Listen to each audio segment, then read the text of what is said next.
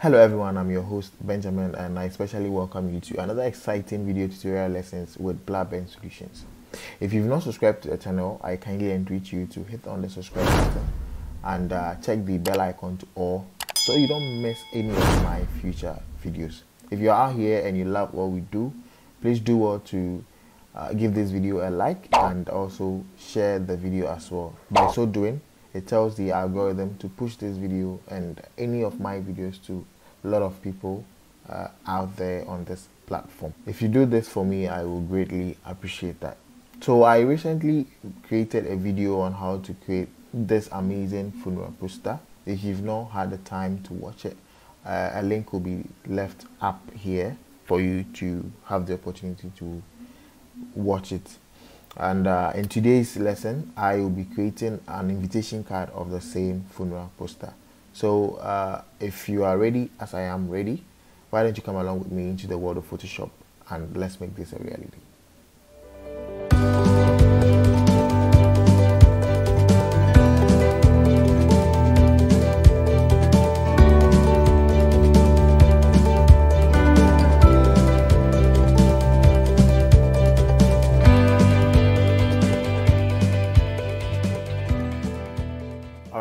uh, welcome to the world of Photoshop. In here, we need to create a working space. Okay, so we're going to click on File and uh, we're going to be clicking on New. Then we are going to uh, name this uh, funeral invitation. And I'm going to be using uh, the measurement uh, in inches and I'm going to be working with size of 7 by 3.5 inches right? So if we are going to print this we need to change this to CMYK but for the sake of this tutorial I'm not going to print this so I'm going to be leaving this in the RGB color mode. So where we are done so let's just hit on create and uh, we have our canvas or our working space ready for us to work with so as I always say, the first thing I would need to do is to quickly work on the uh, background. So uh, in here, I would quickly go and fetch my resource file. So there you have it. So I'm just going to uh, scale this and uh, we're still having my transform around the edges. I'm going to right click this and uh, uh, choose flip horizontal. So I have the cross at this side of the image. So I'm going to drag this to this side and yes still I'm going to uh, increase the size of this image. So with your alt key held, uh, just going to drag this outside this way. The, the next thing I'm going to be doing is to add a vector mask to this layer. So in here we add a vector mask to this layer and quickly let's select our brush tool and uh, let's increase the size of our brush tool then we can uh, wipe make sure the foreground color is set to black uh, so so that we can easily wipe this out. I have a video a, a complete video teaching you guys on how to uh, work with the vector mask. So if you've not watched that video a link will be placed up here for you. So do or to check it out. So continue with our video on how to create the funeral invitation card uh, we are going to be wiping this portion off. So any other portion that we don't need in this uh, design we just take it off right? All right so I'm thinking this is okay. Then uh, the next thing I'm going to be doing in here is to reduce the opacity of this image to the lowest uh, that I, I could get. All right so uh, I, I guess this this this is okay.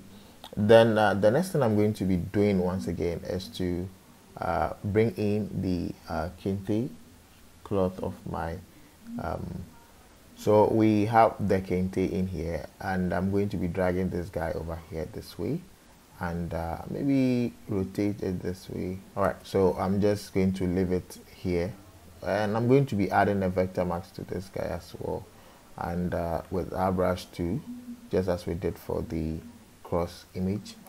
I'm going to be wiping a portion off then we can choose to reduce opacity of this guy. All right so this is looking amazing. This is looking nice. Well I can duplicate this layer control J this image layer over in here. And uh, I, I need a portion that I think will best work well. Uh, that is the sky portion. So I'm actually going to delete the uh, vector mask that I added in here. So with this vector mask selected right click on it and let's say delete vector mask or layer mask but before let me select my uh, marquee rectangle marquee tool then I'm going to be dragging and drawing something like this. So so it makes it uh, a bit easier for me. So now that I've drawn this line I'm going to now add the vector mask to it. So it get rid of some portion that I don't need for me. Good. So you realize I don't need a downward part so I now have this. So still selected with the layer of vector mask selected let's select our brush to increase the size. And uh, we can now wipe the portions. We don't need this cross because we have this cross over here. So um, then I'm going to be placing this guy over here this way. I think it came out too so I think I will need this portion a bit. Um, I think that was too much. So let, let's just get rid of. So now that we are done working with the background let's quickly group them and uh, we continue with our design process. So this is our background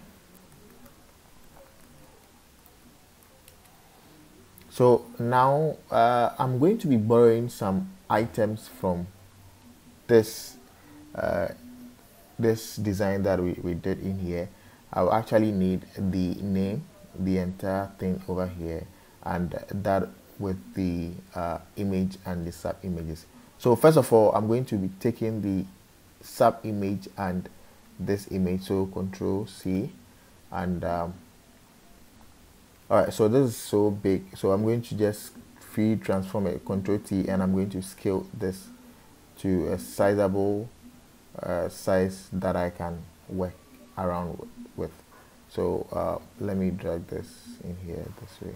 So that is it for the image. Then the next thing is uh, i'm actually going to so i i am not creating this from scratch because i've already done this. So the link to this video is up here or check the description for the link to this video and uh, you would uh, have a fair knowledge of how I did this video. So please do well to give this video a like if you are enjoying it. So uh, continuing I'm just going to uh, be copying. So I have the name layer in here so I'm just going to be copying the name layer and uh, so there you have it control C to copy this so let's paste this guy over here. And uh, this looks way too big as well. So control T and uh, let's scale this to a sizable size that we can work with. So that is it for the uh, but you realize the stroke here is too much. So we can just click on this to reduce the stroke. So so I'm guessing 5 is okay. And uh, one, another thing you would notice is that you realize this layer is in front of the image. It shouldn't be so. The image layer should rather be in front of it. So um, this layer should now come beneath here. And there you have it so we have this looking this way and this is nice. It's sorry. So the name layer great. So I, I have to then take this line okay this line away from here. I have to take this line away from here. Good. So uh, with me selecting the vector layer I can just come in here this way and brush this guy off. Right so I don't need it. So so now that we are done writing the name and the bringing of the image now the next thing we need to do is to then type funeral invitation and provide a place where we can write the the name of the person we would want to invite and maybe add that of the date of the funeral and uh, uh, the other vital information that we need to include in this invitation card. So quickly, uh, I'm going to be doing this. So with my type tool selected, I'm going to be typing funeral invitation with the font name Amarillo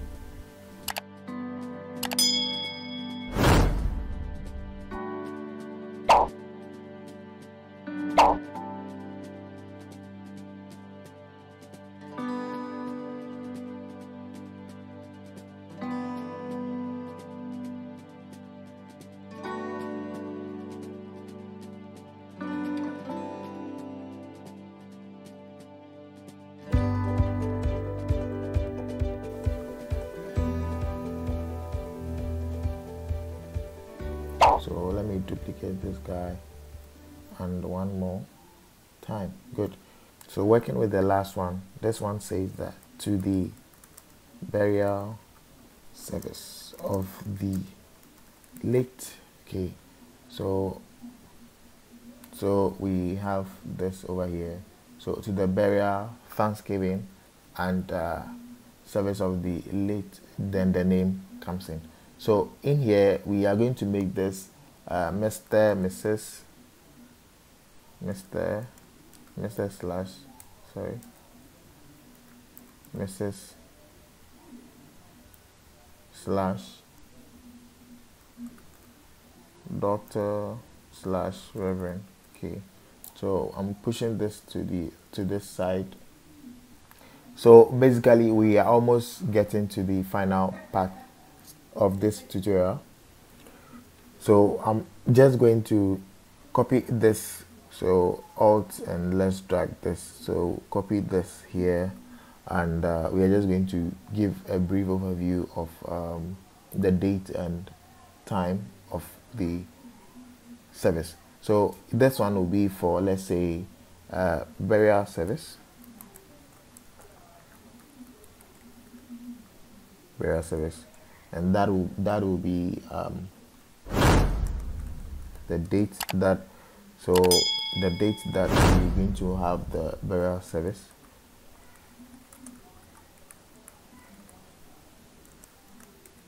And maybe the venue.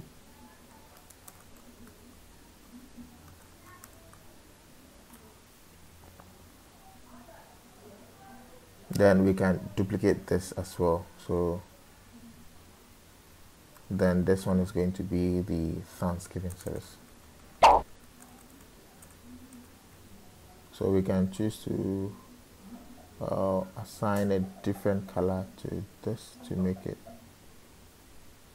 so maybe whilst it. we can make this uh, bold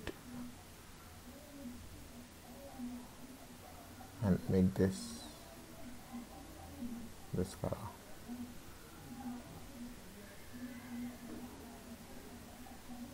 all right so uh, let me do same for the other guy as well.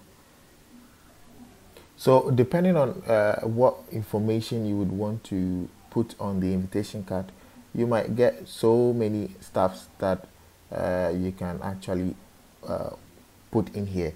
So uh, that that is it for this guys so the burial service date and the Thanksgiving service date is on the invitation card. So anyone you give it, the anyone that receives the invitation cards uh, has an idea of when the service is going to take place.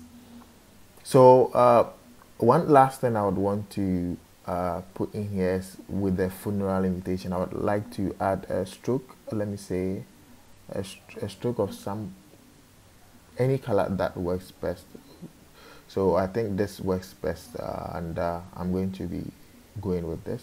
And maybe I can increase the size of this guy as well.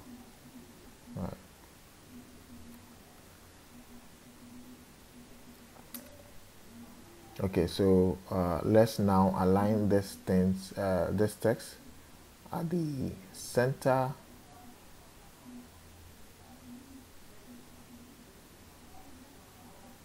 all right so uh, we can now align these people at the center.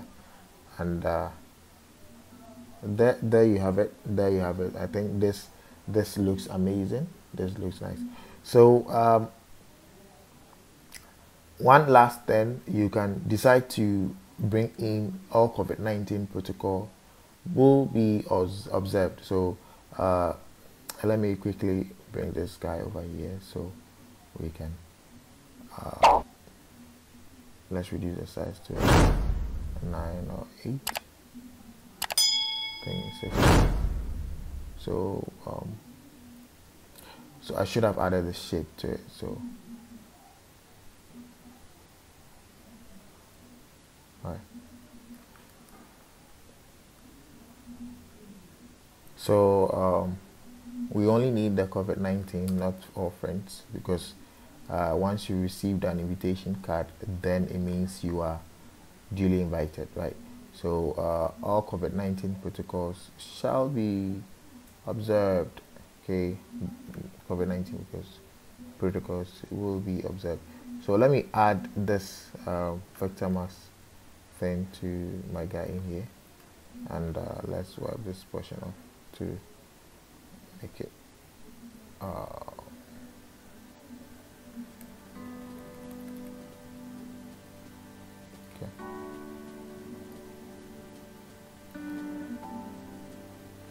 All right guys so uh, this brings us to the end of today's uh, video tutorial. I if you find this interesting i believe you know what to do. Please uh, let's try as much as possible to make this interactive by leaving your thoughts in the comment section below. And i'll be very glad to give a feedback and all ideas uh, are welcome. Your thoughts uh, they are all welcome until I come your way next time, uh, it is still Blaben Solutions and see you in the next one. I'm out.